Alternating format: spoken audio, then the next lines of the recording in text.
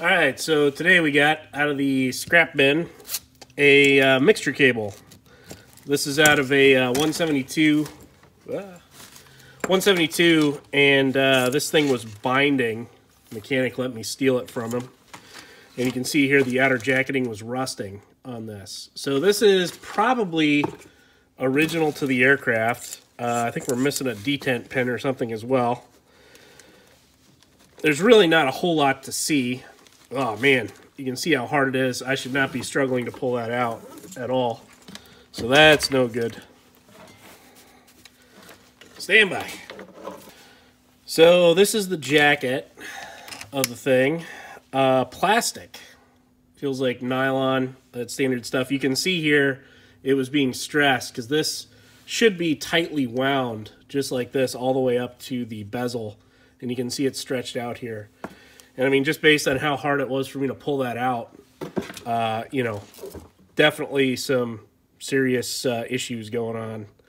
Uh, we can wipe this down and see. Yeah, you can see there's a little bit of discoloration here on the wire. So I think this wire itself was starting to rust a little bit. So that's no good. No good at all. So the way this works uh, so I guess I should back up for a second. So on airplanes, unlike cars where you just got a throttle, basically, uh, you can also, because you're changing altitude and whatnot, uh, and they're fully mechanical, there's no electronics that are that are uh, affecting uh, how um, how the fuel mixture is and all that. Everything's fully mechanical, so you need to be able to adjust the mixture uh, to be able to uh, change the air, you know, that 14 to 1 fuel air ratio as you go up and down. So that's what this control is doing. Now, typically that's a fairly fine adjustment that you make. Um, I don't think we can really get in here to see.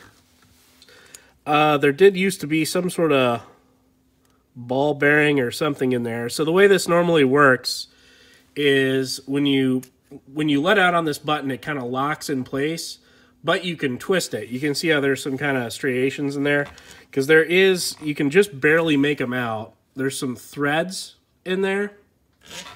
So when you, there'll be a little ball bearing that'll sit here.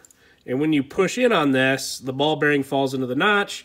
It allows this thing to slide back and forth freely. So, or not that thing, but this thing to slide back and forth freely, right?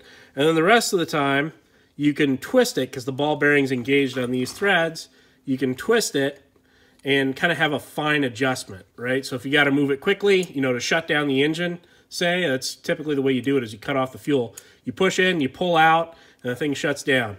If you're in flight and you're trying to make a fine adjustment based on, you know, engine temps or whatever, you can just twist this thing and it will slowly work its way out or slowly work its way in. So that's that. This is the new cabling. Uh, McPherson, McFarlane, something like that. There's this green inner coating, which is like nylon or Teflon. This one has a similar thing. You can see it in there when I pull it apart. But it's obviously not in the greatest shape. It's uh, coming apart. And I bet you here at this rust section, well, it looks like it's more or less intact. So that's actually kind of surprising. I would have thought that that would have uh, gone through. But you can see that, like, when I bend this cable, you can see that the, uh, the jacketing in there is not splitting apart. Unlike this one, which is clearly aged quite well. As I pull it, it just splits right apart there. You can see the stress marks stress marks just from me bending it. And this one, not the case, right? It's just maintaining its, uh, or it's, well, the, the casing is maintaining its rigidity.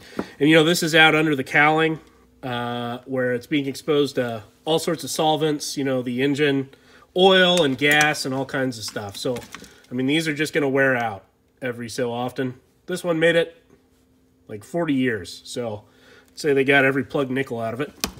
But anyway, just thought that was kind of interesting. Thanks for watching.